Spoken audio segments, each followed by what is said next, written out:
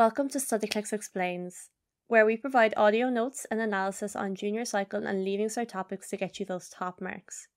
We make exams easier.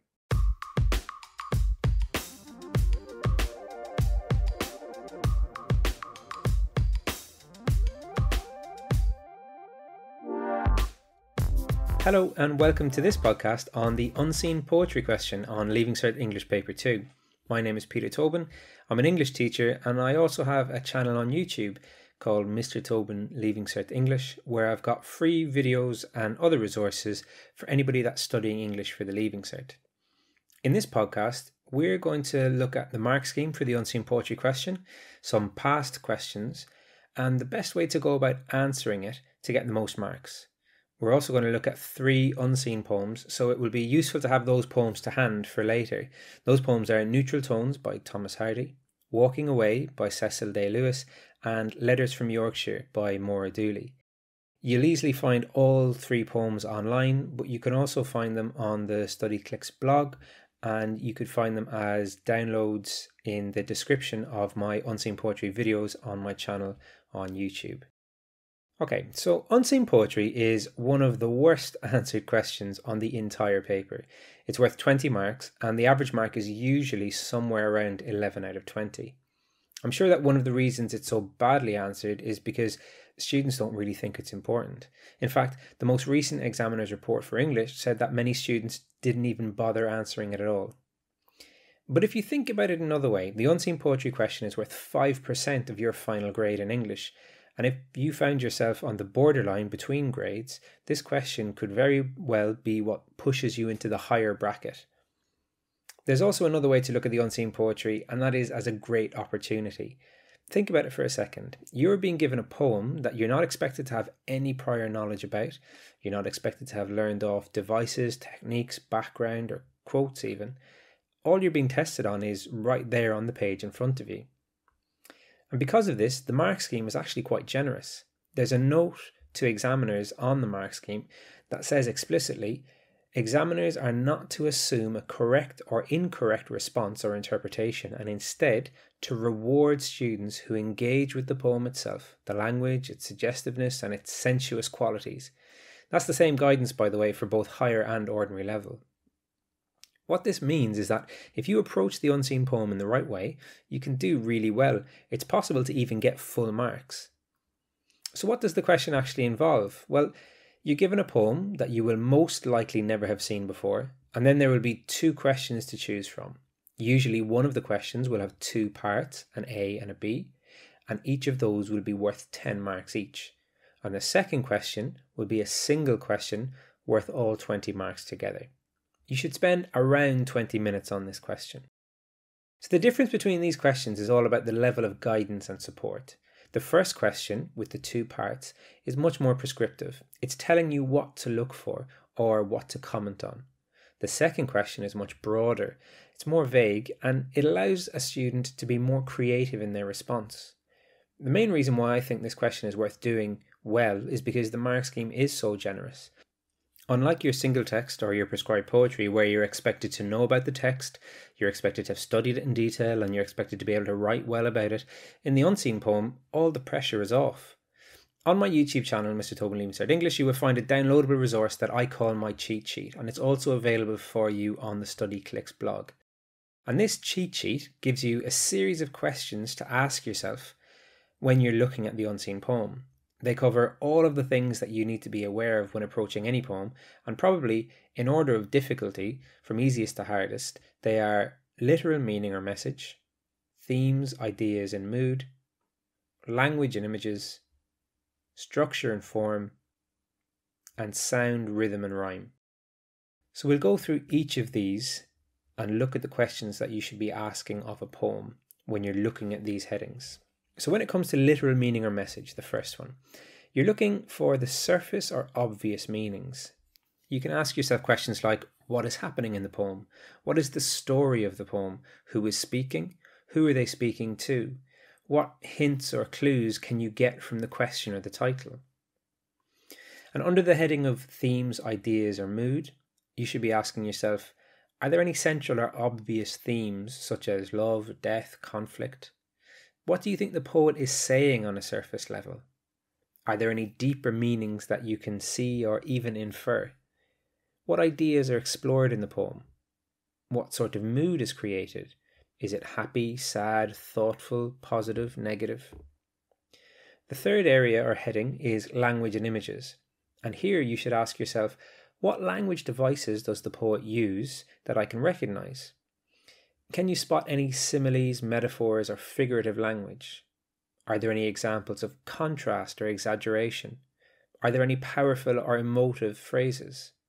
Are there any interesting word choices? How do these choices help the poet to convey his or her idea or their message? As we go through these headings, they begin to increase in the level of challenge. So the last two we will look at are probably the most difficult of the five. They're challenging because they're hard to spot in a poem that you're unfamiliar with. But if you're aiming for a H1, they will really help you to get the top marks in these questions. And also in your studied poetry as well. So the fourth one is structure and form. And here you can ask yourself, how is the poem laid out? How does it look on the page? Is there a set structure that I can recognize? How many stanzas are there? How many lines are there? Is it uniform throughout or does it change? Where does it change and why might it change in that place? Is it a recognizable form, let's say like a sonnet or a villanelle? Is there a cyclical structure? Is the poet trying to reinforce a message by revisiting it over and over? Does the focus or the mood or the tense shift or change throughout the poem? The final heading then is sound, rhythm, and rhyme, and this could be explored through questions such as What does the poem sound like? Does it read fast or slow? Is there punctuation slowing you down, for example? Or is there an absence of punctuation that speeds up your reading? Is there a recognizable rhyme scheme? Is it patterned throughout? Does it rhyme at the end of lines or in the middle or does it not rhyme at all? Are there any similar sounding words? Is there half rhyme? Does the poem rhyme at the beginning and stop rhyming somewhere in the middle? So it's important to say here that this approach is just one way of looking at the unseen, and I'm trying to give you a handle on getting started with it, giving you a way into it. There are many other equally valid ways of tackling the unseen poem, so please just consider this way alongside what you're already doing with your own teacher in your own class. Next, what we're going to do is actually see this in action. So for this part, it would be really useful to have a copy of the poem that we're going to look at in front of you. And just as a reminder, uh, you can find these poems online really easily, or you can get a copy on the StudyClix blog. So I'm going to think aloud as I go through the poem using the criteria from the cheat sheet that we just went through a few minutes ago. And ideally, I'm looking for what I can identify in around five to seven minutes. It's really important to say as well that no one, not even teachers, understand a poem fully after reading it once. There are poems that I've been teaching for 10 years or more that sometimes surprise me with something new when I hear them read a different way or when a student brings fresh eyes to them. So, in the time you have available to you, you don't need to identify absolutely everything. You just need to pick out some key elements and then work them into an answer. And as well as thinking aloud, I'm also going to read aloud. And it's crucial that you do that too, especially while you're practicing and learning how to do this. You won't be able to do that in the exam. You won't be able to read aloud fully in an exam. So you need to do as much of that practice work as you possibly can beforehand. Okay, so the first poem we're going to look at is Neutral Tones by Thomas Hardy. We stood by a pond that winter day, and the sun was white as though chidden of God, and a few leaves lay on the starving sod. They had fallen from an ash and were grey. Your eyes on me were as eyes that rove over tedious riddles of years ago, and some words played between us to and fro, on which lost the more by our love. The smile on your mouth was the deadest thing, alive enough to have strength to die, and a grin of bitterness swept thereby like an ominous bird a wing. Since then, keen lessons that love deceives and wrings with wrong have shaped to me your face and the God cursed sun and a tree and a pond edged with greyish leaves. Okay, so the first thing I look at here is the title and that word neutral. Neutral means in the middle. A car is in neutral if it's not in gear, and we say neutral colours are those that don't really stand out. It makes me think of greys or light colours that sort of disappear into the background. After my first reading, my initial thought is that this is about a relationship that has somehow gone bad. The speaker here is talking to a person that he maybe was in a relationship with. I can tell from the use of we at the beginning, that collective noun, pronoun we, and you and your from stanza 2. So it's like a sort of reverse love letter. The speaker is maybe telling his former lover that their breakup by this pond in winter has damaged him in some way.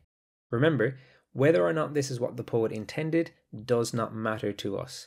We've seen that the mark scheme says there is no right or wrong interpretation, so as long as we can justify what we're saying, we can say whatever we want. So the first step is literal meaning and message. We can see it's about a breakup, and the message is one of bitterness, I think. Next, we look at ideas, themes, and mood. This is relatively straightforward as the mood is definitely a negative one. He talks about love, but it's the ending of love or the pain of love that is focused on.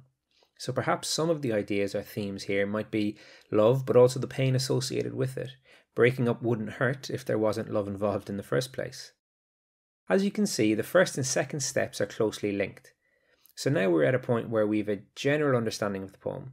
A speaker is addressing a former lover and telling them that their breakup has ruined love for him or her.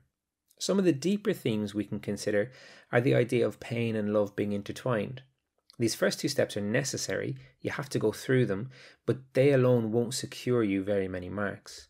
Almost every student who attempts the question will get to this point. The next step then is to start examining the language that the poet uses in order to convey that message. So the first stanza establishes some colour or lack of colour. We have winter, a white sun, the dead grey leaves that had fallen from an ash, so, this is a good example of the effectiveness of language chosen for maximum impact. The ash here is an ash tree, but when combined with the word grey, we tend to think of ashes left after a fire and that grey colour that they produce. The next stanza has a simile, comparing the person being addressed looking at him or her to looking at some annoying riddle or puzzle. The third stanza has some really interesting language that contribute to the idea of negativity. We have contrast between smile and deadest thing, between alive and die in the line following. Also, that bitter grin in the following line. Perhaps the use of contrast here reflects the separation or the opposite nature of the speaker and his lover. In the last stanza, we have again the lack of colour from the first stanza and the emphasis of grey in the last line with the word greyish leaves. So, what about the structure and the form here? Well, it's four stanzas, and each stanza is a quatrain. That's what we call a four line stanza. And so there's a uniformity to it. It looks regular and even. We notice that the ideas expressed in the first stanza are revisited in the last one. So we can say that there is a circular or a cyclical structure in use. Perhaps this reflects the heartbreak that the speaker is experiencing. It's like a vicious cycle that he's stuck in. And, like the poem, he keeps coming back to this moment of heartbreak. So finally, let's take a brief look at sound, rhythm and rhyme. We can see that there's a fairly regular rhyme scheme. In each stanza, the first and fourth lines rhyme, and the second and third lines rhyme. So we can say this poem has a rhyme scheme of A, B, B, A. Lots of poems have other sorts of rhyme, or no rhyme at all, or words that sort of rhyme, or words within a line that rhyme. But here we have the traditional end rhyme, where the word at the end of a line rhymes with another word at the end of another line. Also, with sound, we see that there is alliteration used in stanza 1, the starving sod, and assonance in the line, they had fallen from an ash and were grey. Assonance is the repetition of a vowel sound, so A, E, I, O, or U. Of course, we don't have enough time to go through everything, and ideally, you only need to identify one or two key points about the sound, and an interesting one here comes from the use of rhyme. So, the use of rhyme in lines that follow one another helps to build speed. If we look at stanza 1 again, for example, and the sun, we notice that the two lines rhyming together increases the speed, but so does the word and at the beginning of both of those lines, but in particular the second line. It's as if the speaker is trying to fit in as much into his argument as possible. It sounds almost childish. If we look at the other stanzas, we see that this is a common feature throughout. We call the repetition of a conjunction like and polysyndeton, and that, combined with the way the poet increases the pace of these lines, creates a very deliberate sensation. And all of this culminates at the end with something very interesting. All of the lines that begin with the word and in the poem rhyme with the line either immediately before or after. Our ear becomes accustomed to it.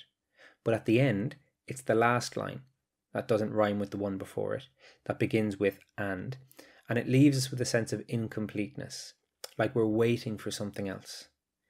If we remember the fact that there appears on the surface to be a uniform and steady structure and form, this could suggest the difficulty or the unsatisfied nature of the speaker. It's lurking beneath the surface and only really emerges when we read the poem aloud. So, looking at the question, we can see that there's quite a lot there to use. I would suggest that if you are struggling to formulate your own ideas about the poem, or if you are finding it difficult to unpick the rhythm or the sound, then you should go for the two part structured question. But if you can come up with some interesting ideas of your own, then the second question will afford you more freedom and allow you to get the most marks. I just want to repeat I wouldn't expect any student to be able to identify all of these things in a poem that they've never seen before in five to seven minutes, first time round.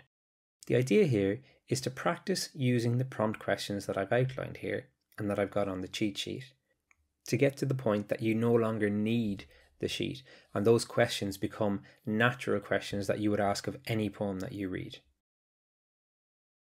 The next poem that we're going to use as an example is the poem Walking Away by Cecil Day Lewis, who is incidentally the father of the actor Daniel Day Lewis, although that's not really important to the poem or to the question. I'm going to first look at the question to give myself a hint or idea at what the poem might be about. There are two options. The first has two parts. Question 1, Part A. What do you learn about the relationship between parents and children in this poem? Explain your answer with reference to the poem.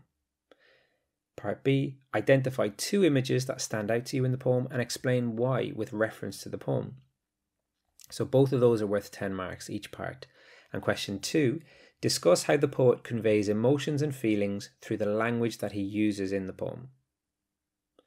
So I've read my question and I've gotten a hint from that question about the nature of the poem. It seems to be about parent child relationships. As you can see, the first question is more prescriptive than the second, and as I said earlier in this podcast, if you are struggling to find interesting things in the poem, then go for the question that has two parts. But the second one is usually broader, and in this case, it would allow you to talk about more challenging ideas such as sound and structure. Now, the title doesn't give me much more other than someone's leaving. The poem's called Walking Away, so I get the sense that perhaps this might not be a very happy or positive poem. Let's begin with a read through to get a full appreciation of the poem and the sound of the poem. So, Walking Away by Cecil Day Lewis. It is 18 years ago, almost to the day, a sunny day with leaves just turning. The touchline's new rule since I watched you play your first game of football, then, like a satellite wrenched from its orbit, go drifting away, behind a scatter of boys. I can see you walking away from me towards the school with the pathos of a half fledged thing set free into a wilderness, the gait of one who finds no path where the path should be that hesitant figure eddying away like a winged seed loosened from its parent stem has something I never quite grasped to convey about nature's give and take, the small, the scorching ordeals which fire one's irresolute clay. I have had worse partings, but none that so gnaws at my mind still. Perhaps it is roughly saying what God alone could perfectly show, how selfhood begins with a walking away, and love is proved in the letting go. So remember, this poem is unseen, the examiners do not expect prior knowledge, and you are being rewarded here for your engagement with the poem. You don't need to identify everything, just enough to differentiate your answer from everybody else's and put yourself in a higher bracket. Also, once you become familiar with these questions, you don't need to approach them in any order. It's simply a toolkit that you can use as you see fit. So we're looking at 20 minutes for this question, approximately 5 to 7 minutes going through the poem, finding material, and the rest on writing up your answer, depending on how quickly you write, of course. So let's begin. The first thing that strikes me about this poem, if you can see it in front of you, is its uniformity. It's four stanzas, and at first glance, they all appear to be the same number of lines, and the lines are roughly the same length. That alone is interesting because remember, everything the poet does is done consciously. It's an active choice from the poet to convey his or her message. Here, the even stanzas don't happen accidentally. A quick read through of the poem also makes it clear there's a rhyme scheme.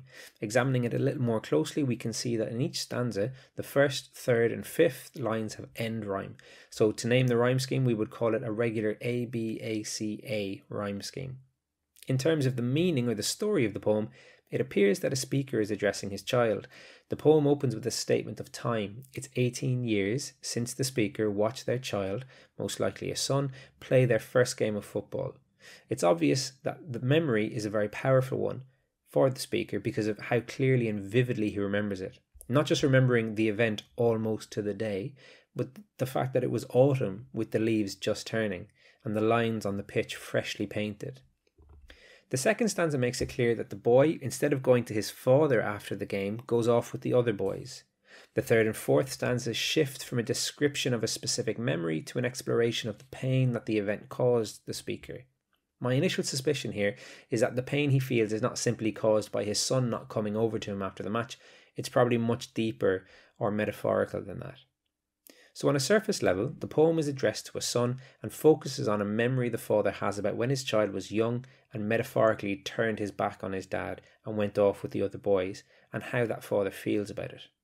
If I was trying to develop that idea, I would think about deeper themes and ideas about relationships between parents and children, and possibly the theme of growing up. I get the sense that the father feels a natural fear or concern that his son is growing up, but that he's not yet ready for what comes with growing up. And what gives me this idea is the sequence of images that Day Lewis uses. Probably the most noteworthy thing about this poem, after reading it a few times, is the strength of the images he chooses.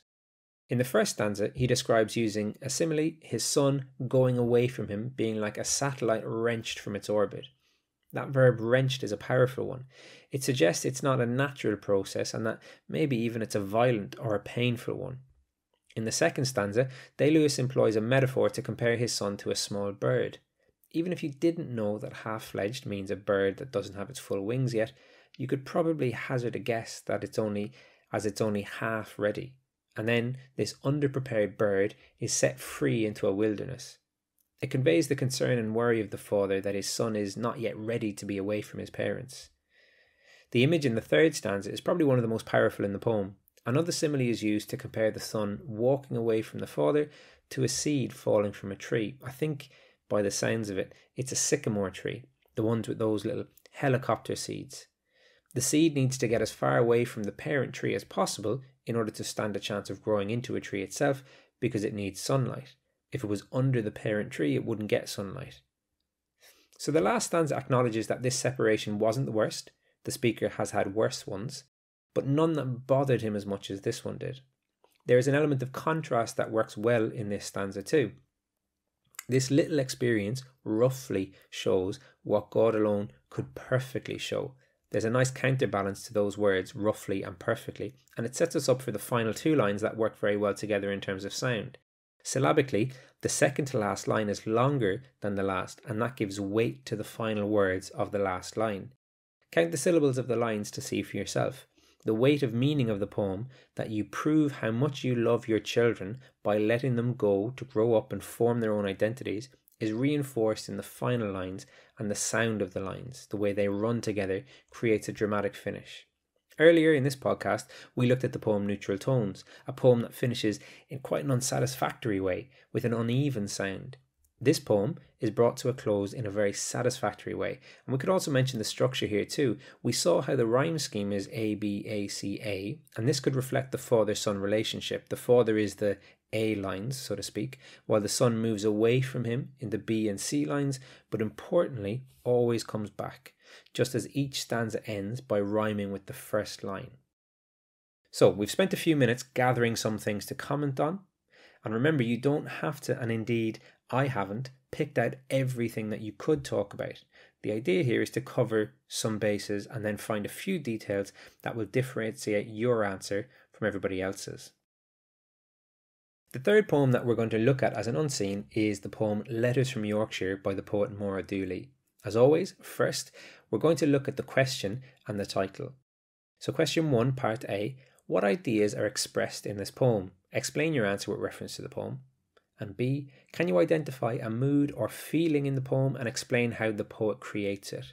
Explain your answer with reference to the poem. Both of those parts are worth 10 marks.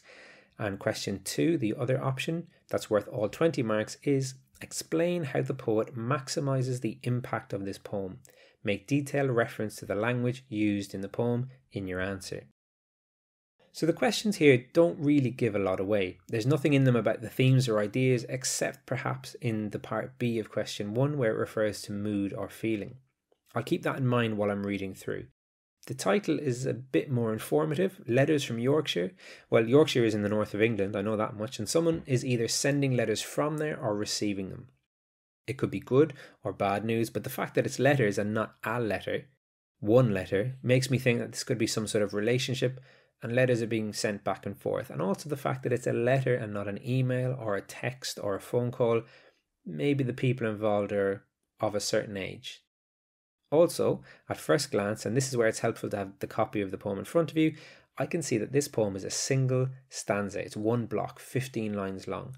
For a moment there, I thought that it was 14 lines long, and that would be brilliant because a 14 line long love poem is a sonnet, and being able to identify the fact that it's a sonnet would be really impressive to an examiner. They're a really famous form of poetry, and it would be a great point to make, but unfortunately, it doesn't fit the requirements. There are 15 lines, not 14.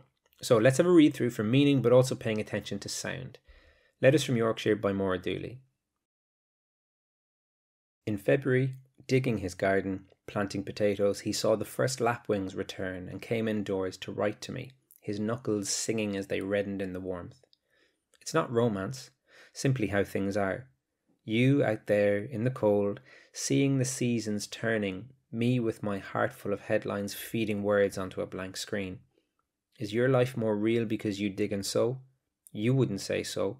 Breaking ice on a water butt, clearing a path through snow. Still, it's you who sends me word of that other world, pouring air and light into an envelope, so that at night, watching the same news in different houses, our souls tap out messages across the icy miles. Okay, so it's clear that there isn't an established or set rhyme scheme like we've seen in the two other poems that we've looked at in this podcast. We would call this sort of poem free verse, but that doesn't mean to say it's random. If we pay attention to the sound, there may be other things that emerge to interest us.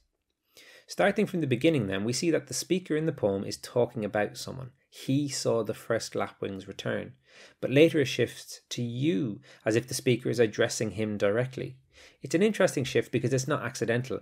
Again, remember, everything a poet does is a conscious choice, and so it's worthy of comment and discussion. So, why does the speaker shift? Perhaps it suggests a growing closeness as they send their letters back and forth. Whoever he is, he spends his time outdoors, it seems. The alliteration of planting potatoes makes that phrase stand out. He also knows the seasons. Lapwings are a type of bird that migrate, and so when they arrive, it signals the beginning of spring. If you didn't know that, it's not the end of the world because you could get to the same idea in different ways. We see the phrase seeing the seasons turning shortly after that phrase about lapwings, and it conveys the same idea. There's a technique which becomes quite important in free verse poems, and it's called enjambment. It's when a sentence or an idea doesn't finish at the end of a line and it runs over onto the next one. You can see examples of it in this poem in line 2 to 3, so came indoors, and a very apt and clever use of it in lines 6 into 7, the seasons turning. Enjambment is something that creates junctions in the language that can help create or enhance meaning. With a minute pause, when we read, enjambment can increase the power or reinforce the meaning of certain words depending on where they are placed. So, for example, the pause between the word seasons and the word turning from line 6 into line 7 enhances that idea of turning. The seasons turn as the poet turns the line. There's also another technique we're mentioning here that you will probably have heard about in class, and that's called caesura, literally meaning to cease or stop. A caesura is a pause in the middle of a line of poetry. Sometimes it can be a full stop, sometimes it's a comma or a dash. We see a good example of it in line 5, where the poet writes, It's not romance, comma, simply how things are. So this line is a statement that is supposed to stop us romanticizing country life. The idyllic image of the man of the land tending to the soil and watching the birds. The speaker is telling us this is just life, it's not romantic. The use of the caesura and the single line sentence immediately after the sentence spanning four lines gives the statement power by slowing the reader right down as they read that line. It's much more emphatic. The speaker then seems to draw comparisons between his life and hers. Is his somehow more real or authentic because he works the land and she seems to be a writer of some sort? There's a physical distance between them too. He's in Yorkshire working the land and sending her letters. We don't know where she is, but we know that she's not with him and she's not in Yorkshire. but there's also another sort of distance between them in the sort of lives they lead and the work that they do. If we look again at lines 9, 10, and 11, we can see an example of rhyme that isn't end rhyme, the most common type. Instead, it's internal rhyme. And to get the full appreciation, we must hear it again. The sow, at the end of line 9 means to plant, but this is echoed by the so, S O, in line 10. It creates something we call euphony, which is a pleasing sound, and this is enhanced further by the word snow in line 11. Is your life more real because you dig and sow? You wouldn't say so, breaking ice on a water, but clearing a path through snow. By the end of the poem, we can see that despite the distance, there is a connection between them, and this feels positive. I would suggest that the mood in the poem is positive despite their difficulties. At night, they watch the same news in different houses, and this is quite a comforting image.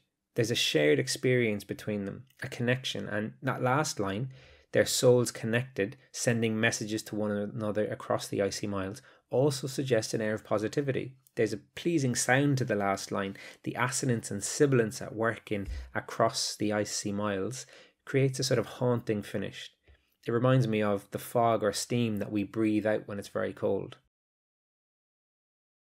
Okay, so let's sum up and come back to our questions. This is a poem about two people. Their relationship is unclear, and we don't need to know any more about their relationship. They're separated physically by distance, but there's also an emotional or another type of separation the work that they do and the lives that they lead. There are lots of images of the man and the land, farming, breaking ice, clearing snow, watching the birds that establish his connection to nature, while there is really only one image of the speaker, typing, feeding words onto a blank screen. When she asks the question, Is your life more real because you dig and sow? it seems clear that she thinks it is. Structurally, it's a 15 line long single stanza, and there's some internal rhyme but no set rhyme scheme. There's some use of caesura and enjambment to focus the reader on particular parts of the poem, particular key ideas. There's also use of sibilance, assonance, and alliteration.